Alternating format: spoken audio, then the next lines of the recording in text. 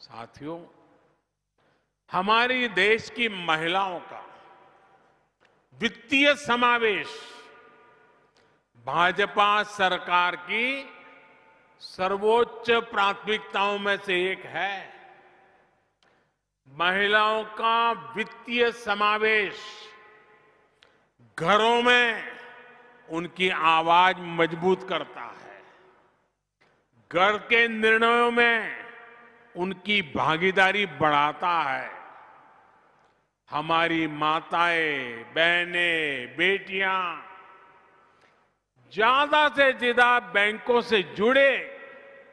इसके लिए इस बजट में हमने बड़े बड़े कदम उठाए हैं। हम महिला सम्मान बचत पत्र लेकर आए हैं।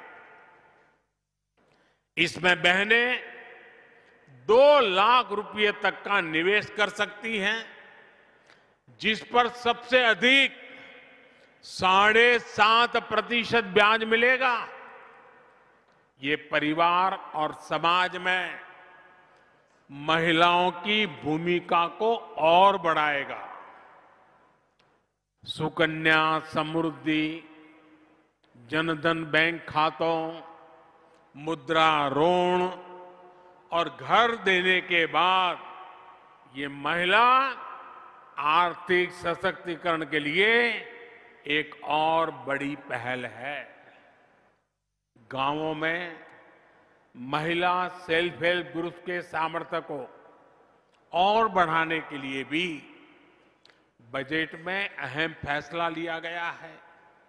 भाई और बहनों, ग्रामीण अर्थव्यवस्था पर इस बजट में सबसे अधिक फोकस है किसानों को कदम कदम पर डिजिटल टेक्नोलॉजी से मदद हो या सहकारिता का विस्तार, इस पर बहुत फोकस है।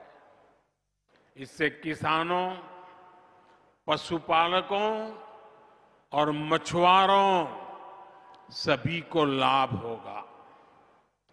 गन्ने से जुड़ी सहकारी समितियों को विशेष मदद मिलने से कर्नाटका के गन्ना किसानों को बहुत लाभ होगा। आने वाले समय में अनेक नई सहकारी समितियाँ भी बनेगी और अनाज की स्टोरेज के लिए देश भर में बड़ी संख्या में स्टोर बनेंगे। इससे छोटे किसान भी अपना अनाज स्टोर कर पाएँगे और बेहतर कीमत मिलने पर बेच पाएँगे। यही नहीं, प्राकृतिक खेती से छोटे किसान की लागत कम हो, इसके लिए हज़ारों सहायता केंद्र भी बनाए जा रहे हैं।